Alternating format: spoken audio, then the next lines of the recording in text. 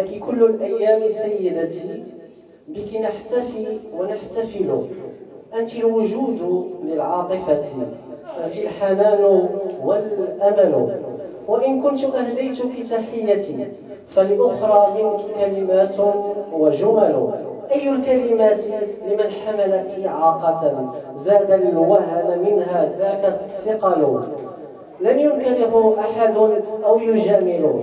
فإن للنساء رفعت القبعات فعلى جبين إعاقتك تهدى القبل. وجدناك عاملة عالمة وأما معلمة فكيف عليك سيدتي ندل شكرا. عبد الرحمن المدني نادي المعاق لجمعية أبي القرق كما تعلمون الاحتفاء يكون جماعيا.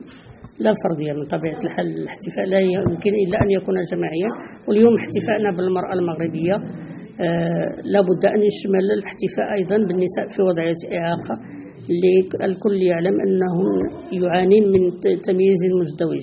كونهن نساء وكونهن في وضعية إعاقة.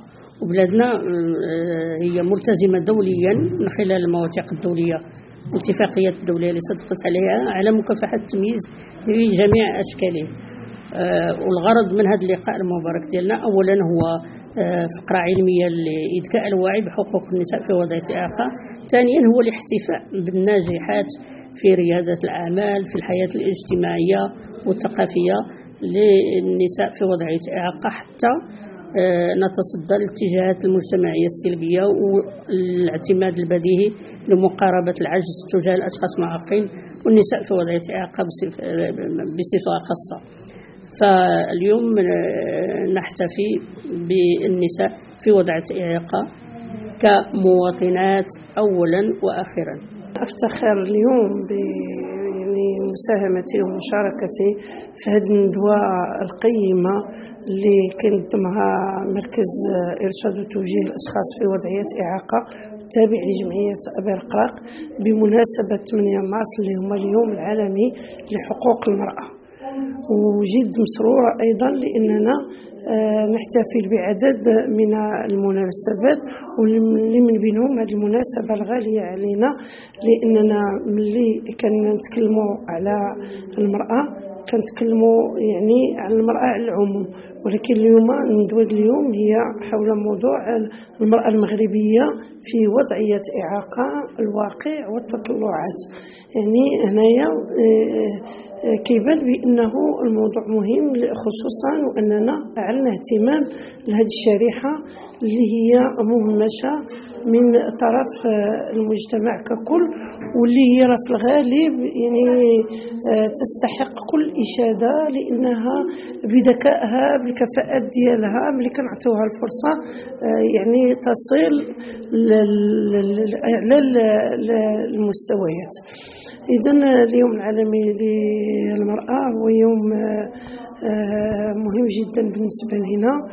وحنا كننظموا هاد الندوة بواحد العدد ديال المتدخلين اللي كيلمسوا واحد العدد ديال الجوانب يعني ما حقق وما لم يحقق. الاسم ديالي سمية حاجب عندي 20 سنة وأنا عضو في جمعية أبي رقراق المعاقين بصراحة الحضور ديالي اليوم أنا فرحانة بزاف هو احتفالا بالمرأة وبخصوصا المرأة في وضعية إعاقة. هذه الندوة هذه تخصصت خصيصا باش أننا تكون واحد الالتفاتة للنساء في وضعية إعاقة أو للفتيات donc هاد الندوة الأساس ديالها أنها توصل الأصوات ديال بزاف ديال النساء وبزاف ديال الفتيات اللي هما مازالين مهمشين.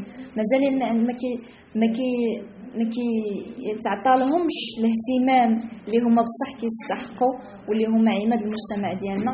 يعني كنقولوا أن أن المرأة نصف المجتمع ولكن واش هاد المرأة هذه كتضم المرأة اللي هي حاملة الإعاقة؟ كنلقاوها كتعاني بزاف خصوصا في لونطوغاج ديالها. أه لي بارون العائلة بزاف ديال العوائق اللي هما كيمنعوها أنها تكمل الدراسة ديالها من, من الأساسيات هو الدراسة ثم الدراسة ثم الدراسة. كنلقاو بزاف ديال هاد المشاكل هادو. كنلقاو المشاكل في الزواج كنلقاو المشاكل في التحرش كيتعرضوا لاعتداءات غير لأنهم حاملين الإعاقة. دونك هاد الندوة هادي كهي واحد الرسالة باش نحبسوا هاد الشيء وحنا كندعيو الله أنه بصح يحبس يعني ما يكونش فقط حبر على ورق أو لا ما يكونش غير خطابات أو لا ما يكونش غير ندوات اللي هي بدون نتيجة. علاش؟ هذا الشيء ماشي مخصص فقط للناس باش يسمعوه إلا هو احتفالا بالمرأة اللي هي فضية اعاقه أو الفتاه فهو راه مخصص لها هي. يعني هذا الشيء خاصو يكون واحد الحافز واحد التشجيع. إلا ما كانش واحد المبادرة من هاد النساء ومن هاد الفتيات ما عمرنا غادي نقدروا نزيدوا لقدام. دونك هذه هي الرسالة ديالي. هما مخصصة للفتيات والنساء كونوا قويات. راه إلا ما وصلناش حنا لداك الشيء اللي بغينا ما كاين اللي غادي يوصلنا. ما ما نستسلموش دغيا. كاينين شي لحظات اللي هما كيوصلونا كنهازموا وكنحسوا بالضعف. ولكن ملي نحس أني بالضعف نحط واحد الهدف قدام راسي. شكرا على المشاهدة.